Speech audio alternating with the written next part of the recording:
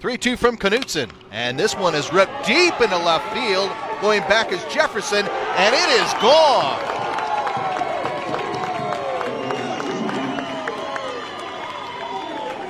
Just what you talked about, Brian Petrata. Wind blowing out the left field, and Smith launches this one almost over the bullpen to give the Dogs the early lead at 1 0. And for Smith, that's just his second home run of the season.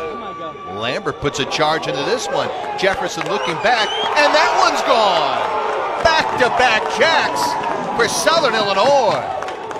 Well, the Salukis, when they showed up at the ballpark today, seemed really loose. They seemed energetic. And it has carried over into this top of the first inning with the bats.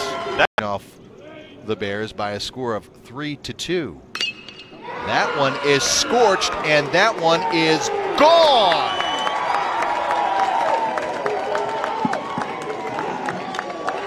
Will Farmer tees up Knutson for the third home run against the Friday starter for Missouri State, and the Dogs lead it by three.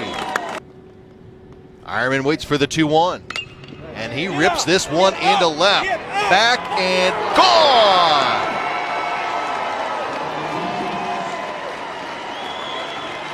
Number 19 for Jeremy Eierman. That's a way to break the spell. Bears are on the board to the belt. Paulson rips this one into right field. Tyne Reynolds score, and they'll hold Privatera on a great throw by Ryan Smith. RBI single for Paulson, as good as they have all regular season. Burger lifts this one deep to left field, and it is gone!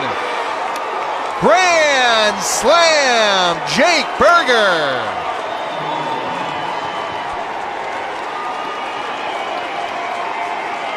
And he gets the Bears their first lead of the tourney, number 21 on the season. And now Alex will switch over, the switch hitter to the right side. And he rips this one down the line. That'll score the sixth run. And hustling into third is Graham, and Jefferson gets the double.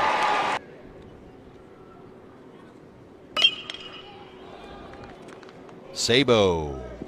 Bad throw, and it gets past Blackfan. And Jefferson will score on the air, the throwing air by Sabo. And it goes out of play, and so they'll. Here comes the 3 2 to Jake. And that one's down the line. That'll score at least one. Nobody out. And they'll hold the runner at third on the double by Burger.